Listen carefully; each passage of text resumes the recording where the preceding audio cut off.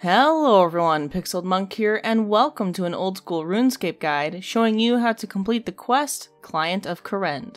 This quest is considered novice difficulty and is medium length, about 15 minutes long. In your inventory you'll need a feather, a Xeric's talisman charged, or 7 teleports to Kourend, which include 14 law, 14 soul, 28 water, 35 fire runes, and requires 69 magic. Slayer Ring for quick Fairy Ring access if available, or a Games Necklace. Stamina Potions, Super Energy Potions, and be sure to have two empty inventory spaces. In your worn equipment, you will need a Dramen or Lunar Staff for Fairy Ring access. For access to Fairy Ring CIS, you must bring 80,000 coins to Trassa, weight reducing gear such as graceful gear, and a ring of Charos activated, which is optional for extra dialogue at the end of the quest. Linked in the video as well as in the description below, there are step-by-step -step instructions and maps for more information. To start the quest, you must first go to Kourend. You can easily get there by using a Xeric's Talisman to Xeric's Heart or use the Kourend Teleport spell. If you can't access either of these methods, you may take a boat from Port Sarim. Once there, find Veos, who is located in the docks of the Piscarilius house near a transportation icon.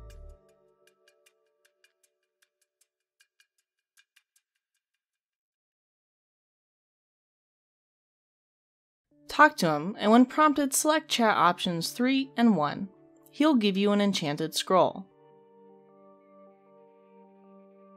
After the conversation, use your feather on the enchanted scroll to make an enchanted quill.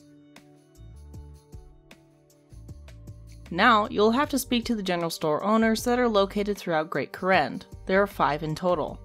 First, you'll want to talk to Leenz, who is located in Piscarilius house. Walk directly north to the general store and talk to Leenz. When prompted, select chat options 3 and 3. Next, teleport to Kourend and walk south towards Hosidius house. Just to the east of the mess is the general store. Talk to Horace inside, and when prompted, select options 3 and 3. Afterwards, teleport back to Kourend and walk southwest towards the Shayzien house. Enter the general store, which is located just north of the combat ring, and will have a shield and sword icon. Talk to Jennifer, and when prompted, select options 3 and 3. Teleport to Kourend. This time walk northwest towards the Lovakengj house. Enter the general store that is located southeast of the bank.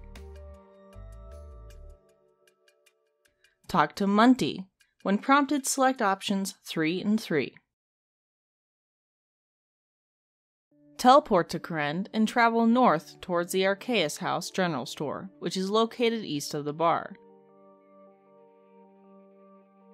Once there, talk to Regath. When prompted, select options 3 and 3. Now that you have talked to all the general store owners, you must return to Veos. You may simply walk there from Arceuus House.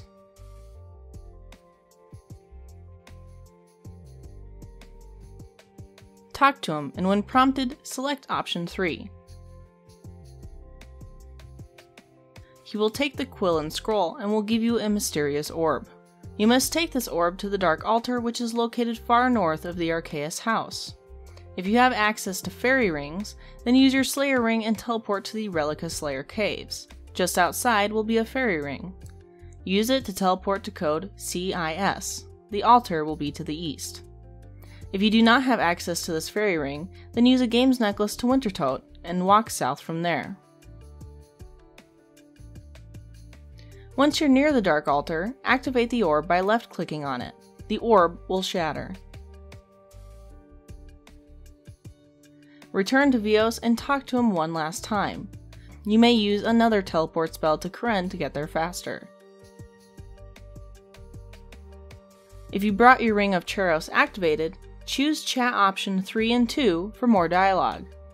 If not, then simply select options 3 and 1 to complete the quest. Congratulations, you have received one quest point, instant 20% favor in any house within Great Kourend, and permanently doubled rate of gaining favor in all houses of Kourend. Thank you so much for watching. I hope that you enjoyed this guide and found it helpful. If you did, please subscribe for more, and I'll see you next time.